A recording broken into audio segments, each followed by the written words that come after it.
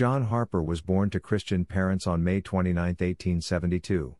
It was on the last Sunday of March 1886, when he was 13 years old, that he received Jesus as the Lord of his life.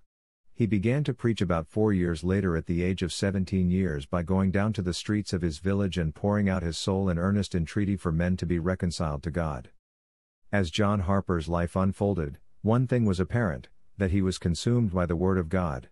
When asked by various ministers what his doctrine consisted of, he was known to reply with a simple The Word of God. After five or six years of toiling on street corners preaching the gospel and working in the mill during the day, Harper was taken in by Reverend E. A. Carter of Baptist Pioneer Mission in London, England. This set Harper free to devote his whole time of energy to the work so dear to his heart. Soon, John Harper started his own church in September of 1896. Now known as the Harper Memorial Church, this church, which John Harper had started with just 25 members, had grown to over 500 members when he left 13 years later. During this time, he had gotten married, but was shortly thereafter widowed. However brief the marriage, God did bless John Harper with a beautiful little girl named Nana. Ironically, John Harper almost drowned several times during his life. When he was two and a half years of age, he almost drowned when he fell into a well but was resuscitated by his mother. At the age of 26, he was swept out to sea by a reverse current and barely survived, and at 32 he faced death on a leaking ship in the Mediterranean.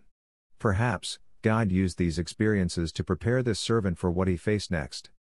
It was the night of April 14, 1912. The RMS Titanic sailed swiftly on the bitterly cold ocean waters, heading unknowingly into the pages of history. On board this luxurious ocean liner were many rich and famous people. At the time of the ship's launch, it was the world's largest man-made movable object. At 11:40 p.m. on that fateful night, an iceberg scraped the ship's starboard side, showering the decks with ice and ripping open six watertight compartments. The sea poured in. On board the ship that night was John Harper and his much beloved six year old daughter Nana.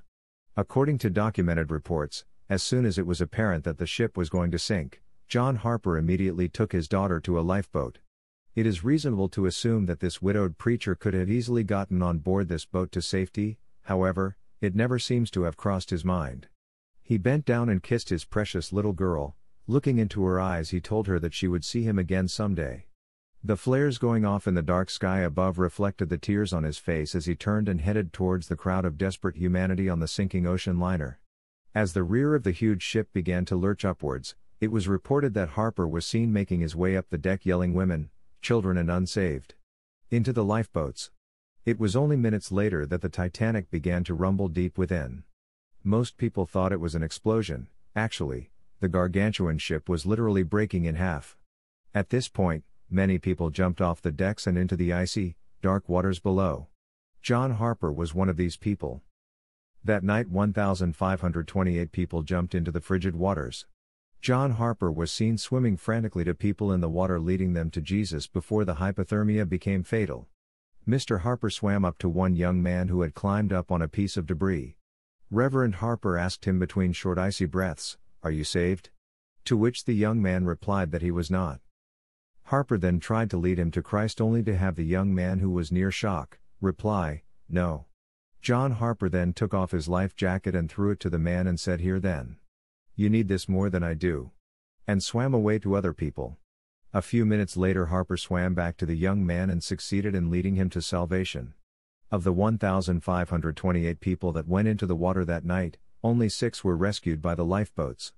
One of them was this young man on the debris. Before disappearing beneath the two and a half miles of water, John Harper shared, for the last time, the message of Christmas, which, in a nutshell, is that Jesus came to earth to die in our stead that we might be saved.